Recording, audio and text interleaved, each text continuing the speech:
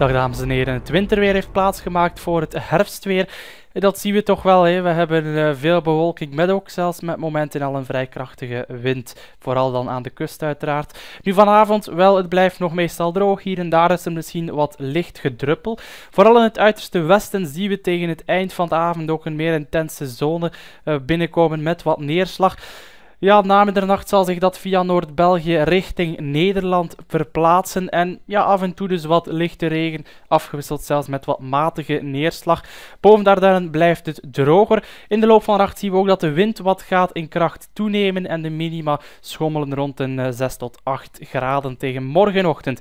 En dan morgen voormiddag nog wat bewolking in het oosten, ook nog wat regen. Ook in het westen hoor zijn er nog steeds uitgebreide wolkenvelden waaruit hier en daar nog wat licht gedruppel kan vallen. Maar in de loop van de dag zien we dat de opklaringen vanuit het westen breder worden.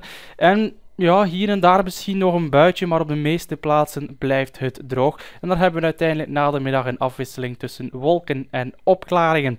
Nog steeds dus een uh, vrij krachtige tot soms krachtige wind uit het westen, vooral aan de kust. Windstoten zijn mogelijk tot 60, lokaal misschien uh, 70 km per uur aan de kust. Temperaturen morgen weinig verandering bij uh, volgende nacht. Een 7 tot 8 graden lijken we te krijgen.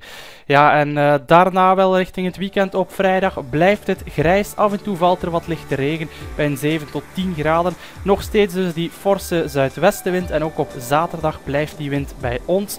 We hebben dan een mix tussen wolken en opklaringen. Vooral na de middag kan de zon er even doorkomen, maar voor de middag blijft het grijs. We verwachten dan ook af en toe wat lichte regen bij een 8 tot 10 graden.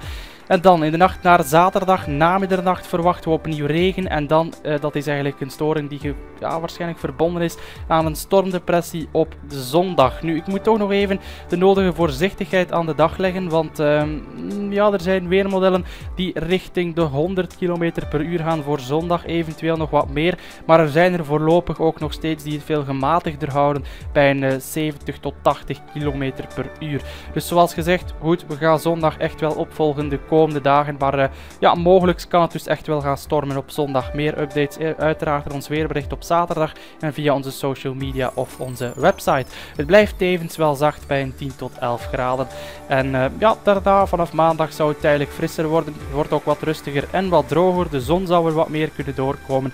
Maar richting midden volgende week ja, neemt de spreiding toch wel weer toe. Dus het kan dan opnieuw richting dubbele cijfers gaan. Of we kunnen juist opnieuw naar beneden gaan.